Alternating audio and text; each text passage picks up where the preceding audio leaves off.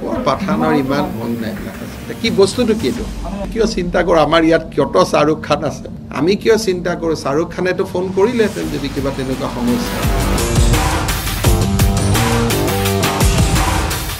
বয়কটৰ আহ্বানৰ মাজতে দেশজুৰি এতিয়া পাঠানৰ জ্বৰ। পাঠানক লৈ চিৰিয়াছ কিং খান শ্বাহৰুখ।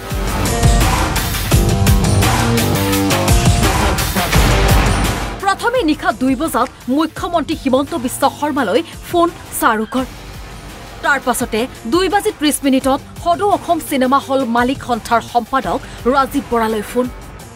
মুখ্যমন্ত্ৰী হিমন্ত বিশ্ব শৰ্মা আৰু ৰাজীৱ বৰাৰ সৈতে ফোনত কি কি কথা হ'ল কিং খানৰ।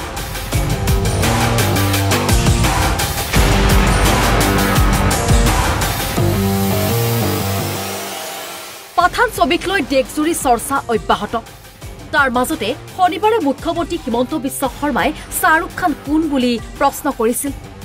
সেই বাতৰি ৰাষ্ট্ৰীয় সংবাদ মাধ্যমত প্ৰচাৰৰ পাছতেই পুৱতি নিশা দুই বজাত মুখ্যমন্ত্ৰীলৈ ফোন কৰে শ্বাহৰুখ খানে। মুখ্যমন্ত্ৰীৰ সৈতে হোৱা কথোপকথনত গুৱাহাটীত পাঠানৰ পোষ্টাৰ জ্বলোৱাক লৈ উদ্বেগ প্ৰকাশ অভিনেতাগৰাকীৰ।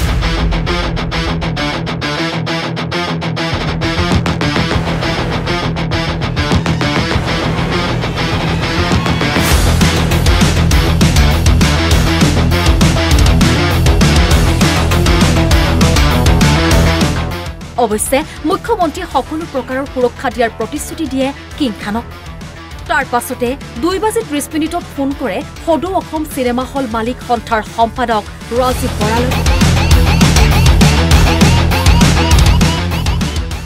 বৰালৈ ফোন কৰি প্ৰায় পোন্ধৰ মিনিট কথা পাতে শ্বাহৰুখ খানে। প্ৰয়োজনীয় সহায় আৰু আশ্বাস প্ৰদান কৰে বলিউড অভিনেতাগৰাকীয়ে। ৰাতি মোক আঢ়ৈটামান বজাত ফোন কৰিছিল। আমাৰ চিনেমা হলটোলৈ তেওঁ খুব কনচাৰ্ণ আছিল। ইনচিডেণ্টটোলৈ কনচাৰ্ণ আছিল কিয়নো আমাৰ বম্বে অফিচ আছে আমাৰ গোটেই অল ইণ্ডিয়া পেন ইণ্ডিয়া আমাৰ চিনেমা আমাৰ যোনটো chain gold cinema gold cinema আমাৰ ডাইৰেক্টৰো চল্লিছখন চিনেমা বনাইছে প্ৰডাকশ্যন কৰিছে। তো আমাৰ এটা ফিল্ম ইণ্ডাষ্ট্ৰীৰ লগত আমাৰ ওতপ্ৰোতভাৱে আমি জড়িত। তো সেইকাৰণে এই কথাটো হোৱাৰ পিছতে ৰাতিয়ে সেইদিনা ৰাতিয়ে বম্বেত গম পাইছিল যে এনেকুৱা এটা ইনচিডেণ্ট আমাৰ হলত হৈছিল। তাৰপিছত তেওঁ কালি মোক সুধিছিল কি হৈছিল কি নাই ইন ডিটেইলছ সুধিছিল। আৰু তেওঁ কনচাৰ্ণ আছিল আৰু তেওঁ কৈছে যে কি যিখিনি কাম যিখিনি মোৰ পিনৰ পৰা সহায় কৰিব লাগে মই সহায় কৰিম।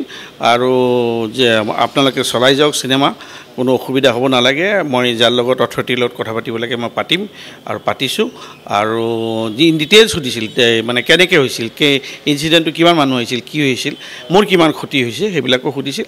না তেওঁ একচুৱেলি কি হ'ল তেওঁ গোটেই ডিটেইলছটো সুধিছিল যে আমাৰ গুৱাহাটী চিটিত কেইটা হল আছিল সেইটো সুধিছিল আৰু কোনখিনিতে হৈছিল কিমান মানুহ আহিছিল আৰু কিমান আমাৰ ক্ষতি কিমান কেনেকৈ হৈছিল ইন ডিটেইলিঙত তেওঁ মোক পূৰা সুধিছিল। ক্ষতিপূৰণৰ কিবা কথা কৈছে অ, ক্ষতিপূৰণ তেওঁ সুধিছিল মোক। মই ক'লোঁ যে সেনেকৈ একো হোৱা নাই ইমান যে কি কি হৈছিল। তাৰপিছত মই মই ক'লোঁ গোটেই কথাখিনি আৰু তেওঁক মই ক'লোঁ যে আমাৰ তাত দুটা ভিডিঅ' আছে এইটো চবে চবৰে তাত আছে অভিলেখে তো মই ক'লোঁ সেইটোও আছে আৰু লাগিলে মই দিব পাৰোঁ বুলি কৈছোঁ। আৰু তেওঁ মোক ক'লে যে ইন কেছ যদি আৰু কিবা লাগে মোৰ তেওঁৰ পিনৰ পৰা সহায় তেওঁ মোক মোক ফোন কৰিব কৈছে তেওঁ।